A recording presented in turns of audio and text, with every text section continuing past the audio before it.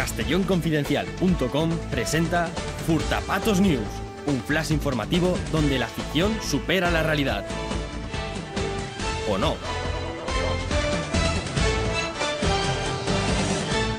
La investidura de Rajoy se realizará en la playa del Gurubú. La investidura del nuevo gobierno de España se realizará presumiblemente durante el mes de agosto, algo que no ha sentado muy bien a los diputados ya acostumbrados de por sí a trabajar lo mínimo posible, para evitar enfados de sus señorías por hacerles trabajar en agosto desde la presidencia en funciones del Congreso, han propuesto llevar la sesión de investidura a la playa del Gurubú en el Grado de Castellón. Así pues, entre cada intervención los diputados podrán darse un refrescante chapuzón, aunque quedará totalmente prohibido dirimir las diferencias políticas con aguadillas. Ciudadanos abrirá una franquicia en La Salera. Después de que una investigación periodística desvelara que el partido político Ciudadanos funciona como una cadena de franquicias, desde el partido de Albert Rivera han decidido quitarse las caretas y hacer públicas sus ofertas para nuevos franquiciados. Entre ellas, ha llamado la atención la oferta disponible para la salera, entre el McDonald's y los 100 montaditos.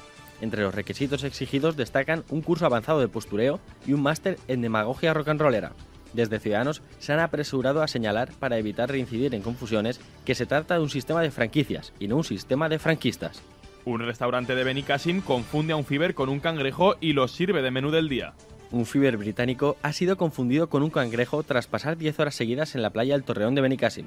Debido a la confusión y al estado comatoso del individuo por los efectos del alcohol, un grupo de pescadores de los espigones le dieron caza y lo revendieron a un restaurante de primera línea de playa pensando que era un cangrejo gigante. Una vez en la cocina de este restaurante, la pieza comenzó a ser abierta para servirla como menú del día. Sin embargo, la abundante cantidad de tinto de verano y cerveza que salió del interior del fiber hizo saltar las alarmas del chef. En ese momento decidieron realizar el test de fiber o cangrejo, dando como resultado que se trataba de un fiber.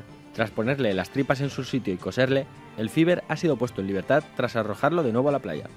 Detienen a Asunción por vender como vino agua del grifo. La Policía Nacional ha detenido a Asunción durante una operación llevada a cabo esta mañana por estafa tras vender como vino agua del grifo. Asunción, dueña de una bodega en el centro de Castellón, presuntamente vendía el producto afirmando que su vino ni era blanco, ni tinto, ni tenía color. Tras los primeros análisis realizados a las botellas, se ha descubierto que simplemente era agua, por lo que se le ha imputado un delito de estafa continuada y malversación sentimental en las ilusiones de los alcohólicos. Centenares de señoras acosan a Bruno Hortelano para que se case con sus hijas. Bruno Hortelano, reciente campeón de Europa de los 200 metros lisos, ha manifestado a través de redes sociales su consternación por el acoso que está recibiendo por parte de cientos de señoras que quieren que el atleta se case con sus hijas. Al parecer, la carrera de biomedicina, sus dotes como atleta y su entrañable personalidad ha vuelto locas a las señoras que buscan pareja para sus hijas. Así lo ha explicado Maruja a los micrófonos de Furtapatos News. Uh, científic deportista y famoso. Aquest xico ara és tot un partidàs pa filla. Finalmente, Bruno Hortelano ha decidido tomarse la situación con filosofía, ya que las carreras que se pega para huir de estas señoras le sirve de entrenamiento para mejorar su sprint de los 100 metros lisos.